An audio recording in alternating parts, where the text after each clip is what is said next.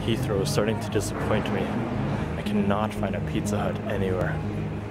I know I just had all you can eat Pizza Hut the other day, but I feel like it should be now a new airport ritual. I had it when coming back from India. And now I crave Pizza Hut for some reason.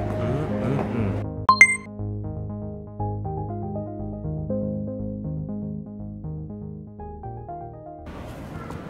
Hello.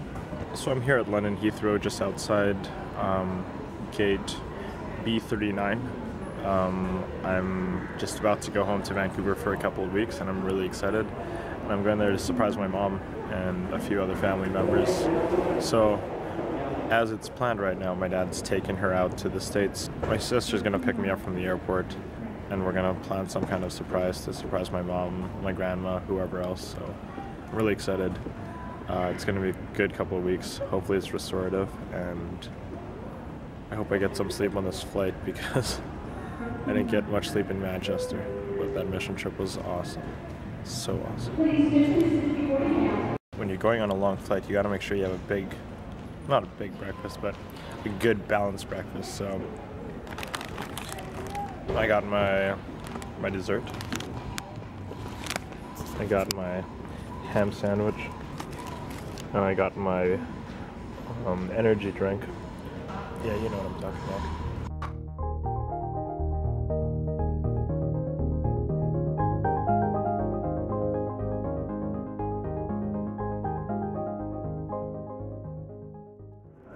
Finally made it to Vancouver. Um, no problems with the travel, no turbulence or anything. I'm heading to customs, and in the words of Michael Potter, smells like freedom.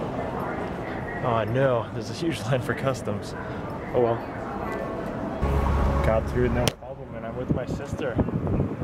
Anybody who misses Micah, give a shout out in the comments. As if anybody watches these videos, right, Micah? But yeah, I made it to made it through without any problem, and it smells like freedom I think we're going to go meet my aunt right now and my grandma who don't have a clue that I'm here. So it'll be a little surprise lunch. I think we're gonna go for good old um, oh, I can't even remember how to say nine in Cantonese anymore. Oh my gosh. Number nine restaurant. Oh well. Hope you're jealous, Tim. See ya.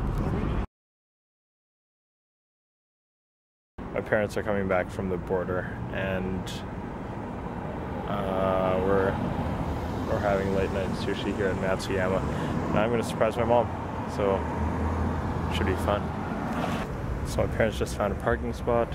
We've been waiting here for like 10 minutes but it's all worth it right?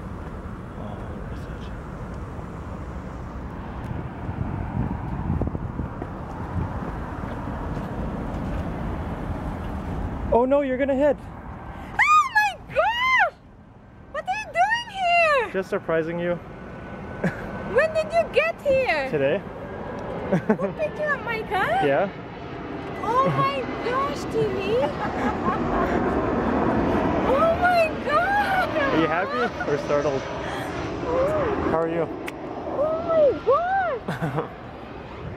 what are you doing here? Just visiting. yeah, right. No, seriously. I know. You're right. Yeah. Just leave. I'm leaving tomorrow. Crazy. Not just one week. So it's a good thing that this didn't happen in the restaurant.